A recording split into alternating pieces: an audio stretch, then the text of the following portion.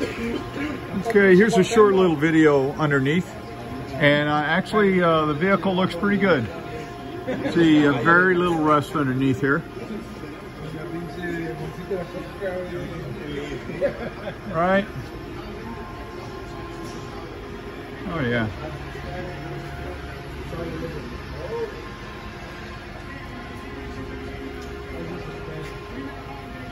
Very little, little pot metal there. You know, little bit of surface rust on, on the outer exhaust, nothing major.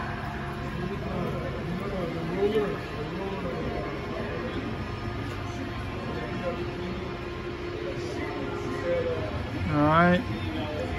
Again, a little bit of surface rust here.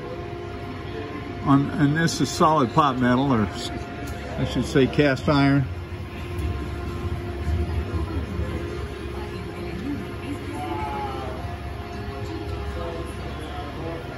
Actually looks really good for a Canadian car.